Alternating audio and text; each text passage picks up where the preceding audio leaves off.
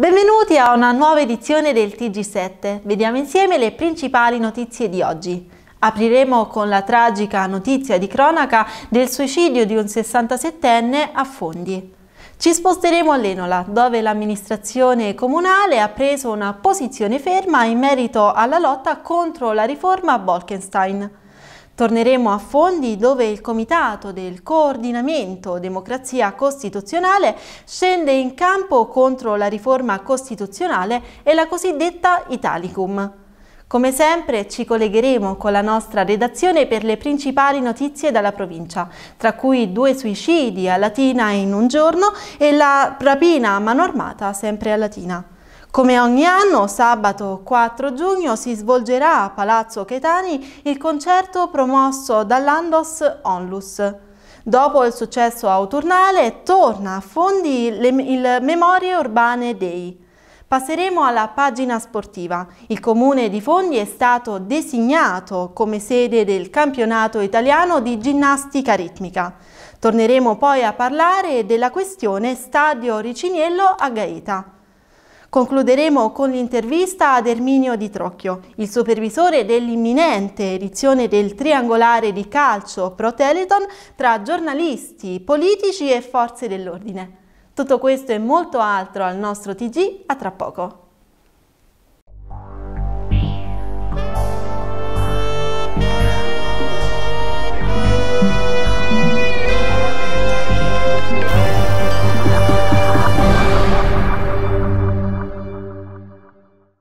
Bentornati al TG7. Si è allontanato per qualche minuto, il tempo di rivolgere l'arma contro di sé, un fucile che deteneva legalmente ed esplodere un unico fatale colpo. Questa la tragica morte che un 67enne di Fondi ha scelto per sé. Si trovava con alcuni familiari nella propria abitazione, ubicata in una delle traverse lungo via Appia, quando intorno alle 14 di ieri ha compiuto l'insano gesto. L'uomo, morto sul colpo, si è tolto la vita senza lasciare un messaggio che giustificasse il proprio suicidio. Sul posto sono intervenuti i carabinieri della locale tenenza coordinati dal comandante Ivan Mastromanno. Una tragedia che si accompagna ad altre due, avvenute nel giro di poche ore, nella provincia di Latina. A togliersi la vita anche un'avvocatessa di 43 anni di Borgo Piave e un 82enne di Latina. L'amministrazione comunale di Lenola prende parte nella lotta contro la direttiva Bolkestein, schierandosi a favore degli ambulanti. La direttiva sulla difesa dei mercati va controcorrente rispetto agli interessi degli ambulanti e degli occupatori di suolo pubblico, che potrebbero vedere rinnovate le loro concessioni solamente per un periodo limitato dai 7 ai 12 anni. Nei giorni scorsi, dunque, il sindaco Andrea Anto Giovanni è stato autorizzato dalla giunta comunale ad aderire alla manifestazione Marcia dei Silenziosi, che partirà verso Roma il prossimo 9 giugno da Fondi. Non lasciare che gli altri decidano per te. Questo è lo slogan con cui il Comitato di Fondi del Coordinamento Democrazia Costituzionale scende in campo sabato 4 giugno dalle 17 alle 20 in Piazza della Repubblica e domenica 5 giugno dalle 10 alle 13 presso l'area destinata al consueto mercato domenicale. È inoltre possibile firmare anche presso il Comune di Fondi. Il comitato, promosso e costituito da sezione locale dell'ANPI, Associazione Murales Arci, Associazione Caponnetto e Sindacato Cobas Scuola, nasce nell'ambito delle campagne referendarie per il no alla riforma costituzionale promossa dalla legge Renzi-Boschi e contro la cosiddetta Italicum, la nuova legge elettorale. Un invito rivolto a tutti i cittadini e alle altre realtà associative ad aderire al comitato e partecipare all'importante impegno referendario. Ci colleghiamo ora con la nostra redazione, dove Alessia Filippi ci informa sulle principali notizie dalla provincia. Grazie Ilaria per la linea, vediamo insieme le principali notizie di oggi dalla provincia. Un'avvocatessa di 43 anni di Latina si è tolta la vita all'interno della sua abitazione di Borgo Piave. A trovarla impiccata ieri mattina è stato un suo amico. Sul caso indaga la polizia. La triste notizia si è subito diffusa in città dove nel pomeriggio si è verificato un altro suicidio in via Umberto I. A togliersi la vita con un'arma da fuoco è stato un anziano. Rapina a mano armata nella sala slot di via Don Torello a Latina. Un uomo con il volto travisato da un passamontagna, una volta dentro, ha puntato la pistola contro la cassiera e ha chiesto alla ragazza di mettere l'incasso della giornata in uno zainetto che aveva con sé. Non è ancora chiaro l'ammontare del bottino. Il rapinatore è poi fuggito a bordo di uno scooter, ritrovato poco più tardi e risultato rubato. L'area marina protetta di Ventotene e Santo Stefano sarà esposta al Palazzo dell'ONU di New York. Una foto scattata nell'area marina protetta delle due isole è stata selezionata per la mostra Obiettivo Terra 2016. Il mare, polmone blu del pianeta, inaugurata a New York presso il Palazzo delle Nazioni Unite il 31 maggio. La foto in mostra, eh, oltre alle 30, sono state accuratamente scelte tra le 1800 pervenute nella edizione 2016 del concorso fotografico Obiettivo Terra. È tutto per oggi, la linea può tornare allo studio ad Ilaria Monacelli. Grazie Alessia. Sabato 4 giugno, come ogni anno, si svolgerà a Palazzo Chetani il concerto promosso dall'Andos Onlus Fondi, bazar, musica, canto, poesia, balletto.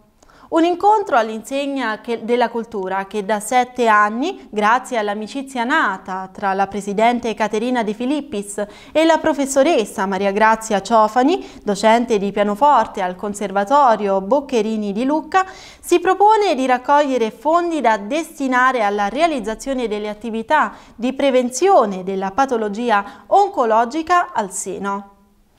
L'edizione 2016 del concerto sarà dedicata alla memoria di Caterina De Filippis, che ha strenuamente speso la propria esistenza al sostegno delle donne operate al seno, fino alla sua triste scomparsa avvenuta lo scorso 7 aprile. Tra poesia, danza e musica, l'evento vedrà, tra le numerose esibizioni in programma, la partecipazione al pianoforte di Maria Grazia Ciofani, del cantante lirico Mario Pochini e dell'attore Angelo Giannoni Sebastianini, direttore artistico della prestigiosa associazione romana Il Tempietto. L'iniziativa si avvale del patrocinio di provincia di Latina, Comune di Fondi e Banca Popolare di Fondi e del supporto tecnico organizzativo di Parco Naturale Regionale Monti Ausoni e Lago di Fondi, Comitato San Magno e Proloco Fondi. Dopo il successo autunnale, domenica 5 giugno torna a Fondi il Memoria Urbane Day, con il quadrato, basement project room ed urbofficina, che invitano a partecipare allo Street Art Bus Tour.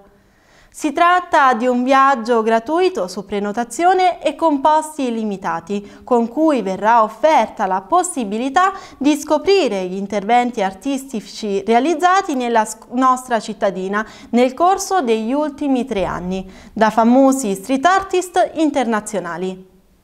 Le corse saranno tre, la prima di mattina alle ore 10, le altre due nel pomeriggio alle ore 15 e alle ore 17. È prevista la possibilità facoltativa di pranzare insieme in un ristorante locale ad un costo contenuto. Alle ore 19 le organizzazioni promotrici invitano presso la Galleria Basement Project Room in via Tommaso d'Aquino 26 per il finissage della prima mostra in Italia dello stencil artist tedesco Alias, dal titolo La memoria delle cose dimenticate. Gli orari della galleria sono dalle 16 alle 20, dal mercoledì al sabato.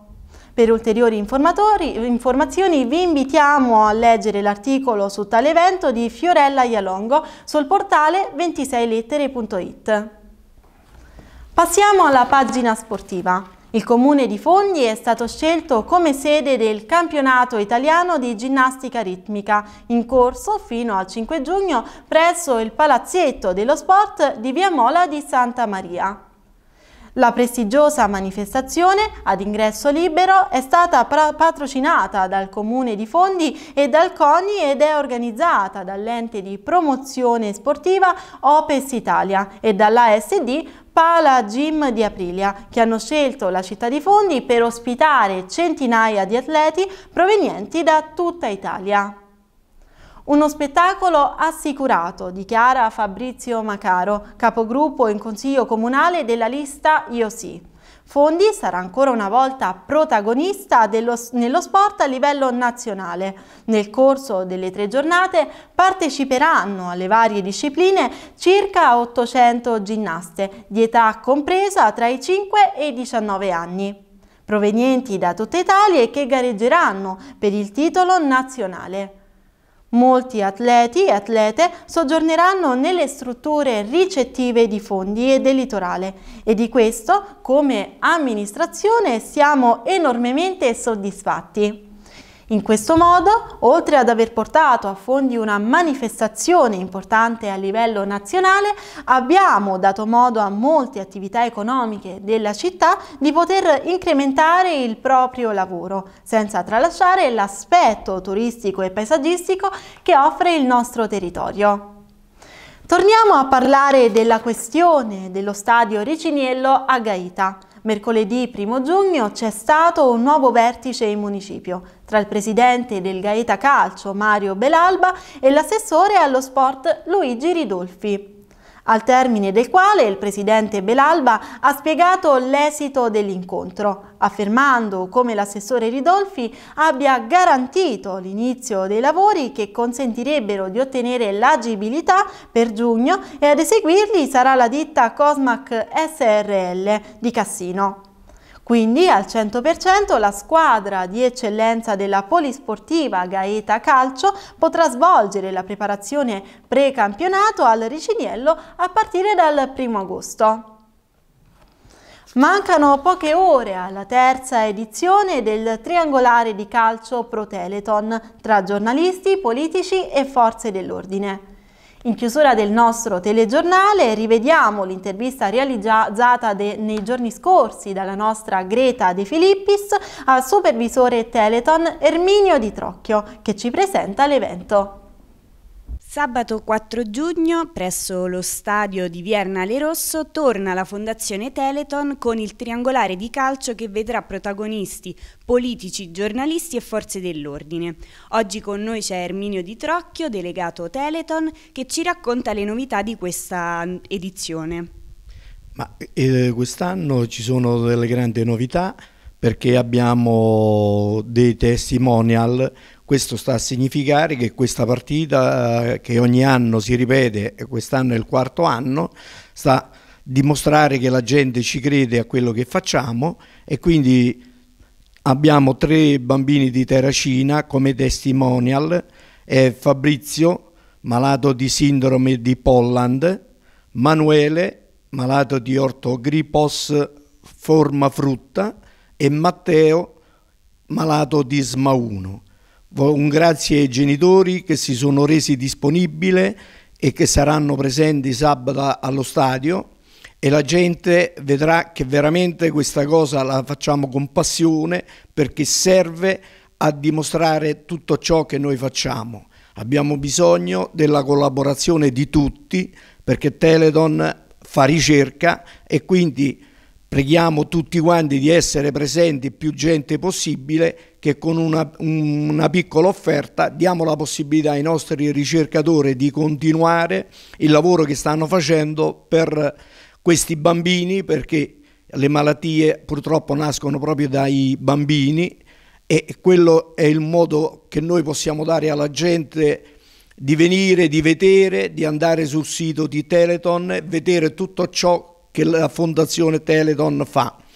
Uh, le novità sono che quest'anno le formazioni saranno più agguerrite perché partecipano più gente, cose che gli, gli anni passati non c'erano, saranno presenti i sindaci dei comuni limitrofi proprio a, a dimostrare la loro presenza che questa cosa funziona e quindi un, grazie alla squadra di calcio, alla società all'Unicusano Fondi e al suo presidente Nicola Ciarlone che mi ha messo il campo a disposizione e tutto ciò che avevo bisogno, quindi questo va ricordato perché la gente è sempre molto sensibile a queste cose. Un grazie ai genitori di quei bambini che saranno presenti e mi auguro che saremo numerosi sulle tribune sabato 4 giugno a dimostrazione di quello che uno fa per la partecipazione. Questa edizione del TG7 termina qui. Per segnalazioni e suggerimenti potete contattarci alla nostra mail redazione chiocciola tvcanale7.it o sulla nostra pagina Facebook Canale 7. Potete inoltre continuare a seguirci sul nostro sito internet tvcanale7.it. Vi ricordo gli orari in cui andrà in onda il nostro TG, alle 7.50, alle 13.50, alle 18.50, alle 20.50 e alle 23.50. Grazie per averci seguito e buon proseguimento sulla nostra rete.